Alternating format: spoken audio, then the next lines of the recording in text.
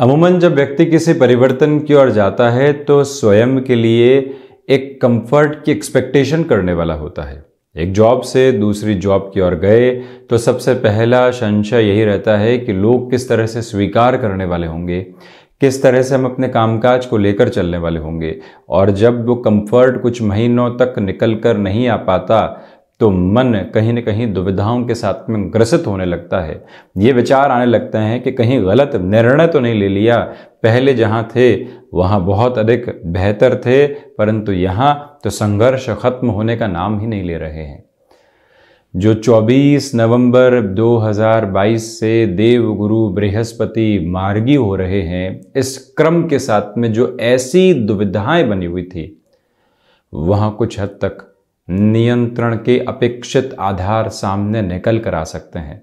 बुद्ध प्रदान राशि के जातकों को जहाँ पर ढैया का नियत क्रम निरंतर तौर पर चलता रहा, अब 17 जनवरी 2023 को समाप्ति काल की ओर रहेगा, पूर्णता लिए हुए होगा। वहीं शनिदेव की तीसरी दृष्टि, जो देव गुरु बृहस्पति पर रहेगी देव गुरु बृहस्पति यहाँ पंच महापुरुष योगों में से हंस योग को निर्मित करते हुए मिथुन राशि के जातकों के लिए देव गुरु बाधक अधिपति हो जाते हैं। सप्तमेश होकर जब बाधक अधिपति का, यानी एक तरह से व्यापार और गृहस्थ, व्यापारिक साझेदारी के भाव के अधिपति का दशम भावस्थ क्रम में होना और वो भी उत्तरोत्तर बलि केंद्र के साथ में होना और अब पुनः मार्गी हो जाना, ये संकेत देता है कि आप यहाँ पुनः एक अलग यात्रा की ओर बढ़ रहे हैं, जो परिवर्तन के बाद सकारात्मकता से भरी हुई है।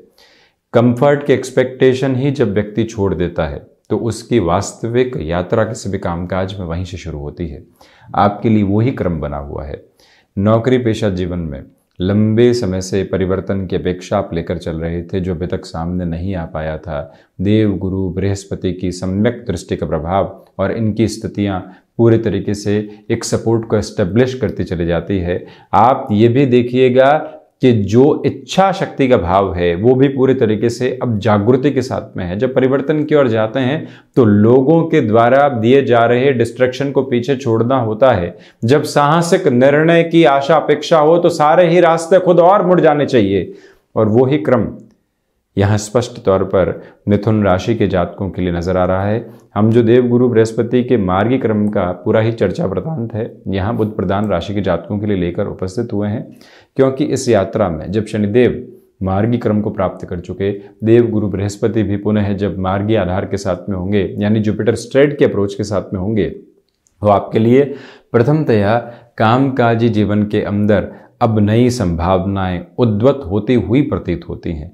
प्रथम तौर पर यह बात गौर करने लायक है। दूसरी अवस्था में आप ये देखिएगा कि जो व्यक्ति को खुद को मैनेज करके चलना होता है और साथ ही साथ में एक स्मार्ट वर्किंग अप्रोच दर्शानी होती है। कामकाज तो आप कर रहे हैं परंतु किन लोगों को कौन सा काम सौंपना है, हमें कब देरी तक रुकना है, हमें कब शारीरिक स्वास्थ्य का ख्याल रखना है, हमें मैनेजमेंट के सामने कौन सी बात किस तरह से रखनी है, ये सारी ही जो गतिविधियाँ रहती है, ये देव गुरु बृहस्पति के इस सहयोग के क्रम के साथ निकल कर आती है। वहीं पिता के साथ आप किसी भी कार्य क्षेत्र में जुड़ना चाहते हैं, तब भी यहाँ पर संभावनाएँ आपको क्रमिक तौर के ऊपर बेहतरी दे रही है। वहीं जो एक्सपीरियंस आपने हासिल कर लिया है, आप किसी और स्थान के साथ में व्यापारिक गतिविधियों को बढ़ाना चाहते हैं।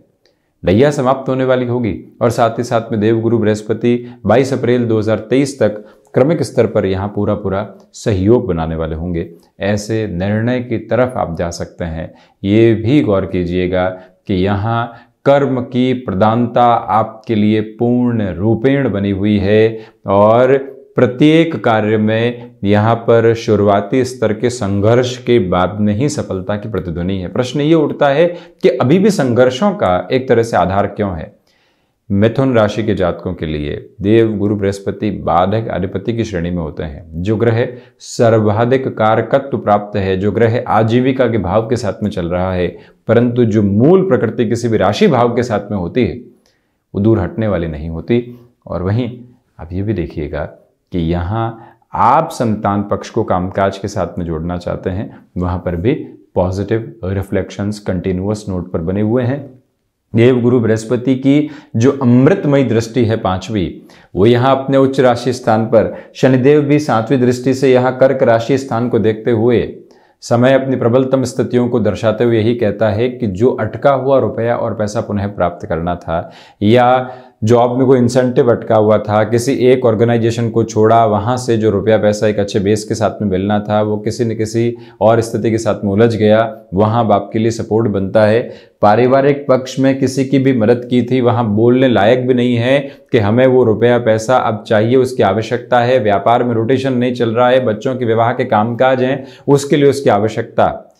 परंतु वहीं से संकेत मिलते हैं बेहतर। और व्यक्ति अपने लिए और रुपए पैसे की स्थितियों को पुनः प्राप्त करने वाला हो जाता है। ये एक क्रमबद्ध स्तर यहाँ सामने बना हुआ है और वहीं आप ये भी देखिएगा कि कुटुंबी जनों का सहयोग आपको प्राप्त होता चला जाएगा। देव गुरु बृहस्पति जब भी अपने कारक भाव को देखते हैं तो वहाँ और वृद्धि देने वाले हो जाते हैं। नैसर्गिक तौर के ऊपर इसी वजह से आपके लिए सपोर्ट।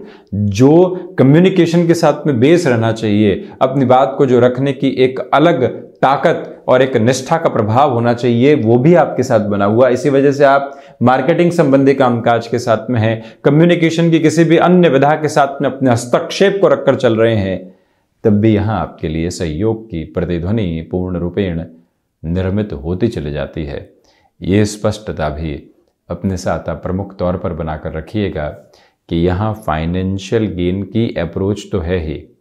इसी के साथ एक और बात जो मुख्य रूपेण सामने निकल कर आती है, आपने अपने कामकाज में कुछ रुपया पैसा और निवेश करने की तरफ़ जाना है तो जो शनिदेव मार्गी क्रम के साथ में द्वितीय भाव को देख रहे हैं, देव गुरु बृहस्पति अपने उच्च राशि स्थान को देख रहे हैं, ऐसा रुपया पैसा इन्फ्यूज करके लॉन्गर टर्म में पॉजिटिव रिज़ल्ट के बेस को देखना, ये भी एक गूंज है।